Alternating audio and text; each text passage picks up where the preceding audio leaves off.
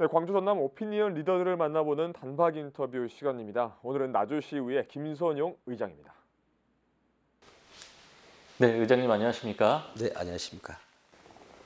네, 먼저 CNB 시청자에게 인사말 전해주시죠. 네, 네. CNB 시청자 여러분 안녕하십니까. 나주시의회 의장 김선용입니다. 이렇게 TV를 통해서 만나 뵙게 되어 너무나 기쁘게 생각합니다.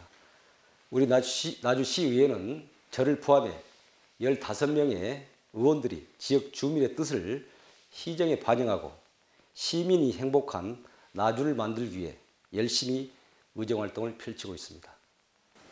네, 이제 2019년이 며칠 남지 않았는데요. 올해 나주시 의회의 주요 의정 활동에는 어떠한 것들이 있었습니까? 네, 우리 나주시의회는 15명 의원 중에 10분이 초선 의원입니다. 열정은 넘치지만 아직 부족한 점이 많다는 생각에 가장 먼저 해야 할 일들을 실력을 쌓는 일이었습니다. 그래야만이 의원의 역할을 제대로 해보자는 것이었습니다. 그래서 의원 단체를 구성해 활동하면서 주제별 자료 조사와 강연회, 토론회, 견학 등 다양한 활동을 펼쳐왔습니다.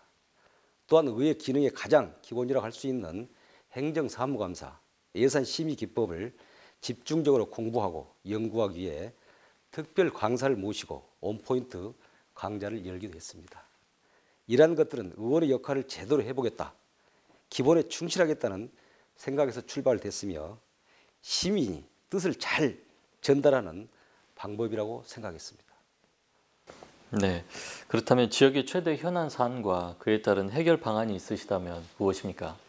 예, 우리 나주는 지난 1월에 한정공대 유치에 성공했습니다. 하지만 성공적인 한정 공대 개교를 위해서는 갈 길이 멀고 산이 첩첩입니다.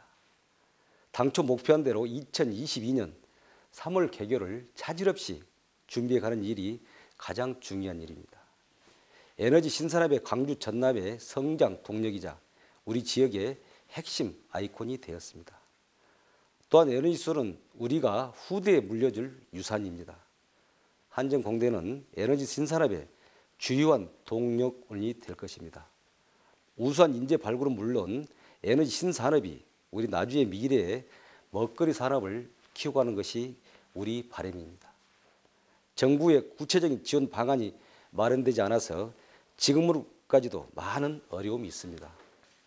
특히나 한정공대의 이 설립을 두고 당리 당락에 따라 지역 갈등을 조장하는 분위기가 되어 한정공대 설립 추진에 큰 차질이 염려되고 있습니다.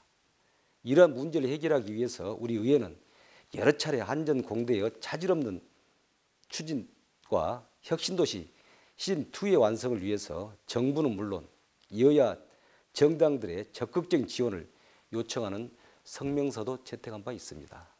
앞으로 나주시 집행부와 함께 힘을 모아서 한정공대 설립은 물론 에너지밸리 조성 사업에 적극적으로 나설 계획입니다. 네, 마지막으로 CNB 시청자와 지역민들에게 한마디 해주십시오. 예, 예. 그, 우리 시청자 여러분 그리고 어, 나주 시민 여러분 이제 2019년이 얼마 남지 않았습니다. 한 해 마무리 잘 하시고 새해에는 여러분이 바라는 모든 일들을 성취하기 바라겠습니다. 우리 의회는 12만 나주 시민 여러분의 꿈과 희망을 가꾸고 가는 일에 더욱 담대하게 추진해 나가겠습니다.